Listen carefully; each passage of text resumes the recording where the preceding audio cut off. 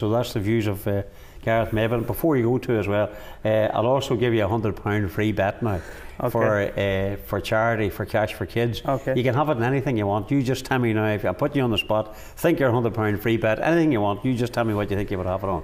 Manchester United win the league. Ah, for God's sake! Guaranteed, guaran- guaran- guaranteed 100 quid for charity.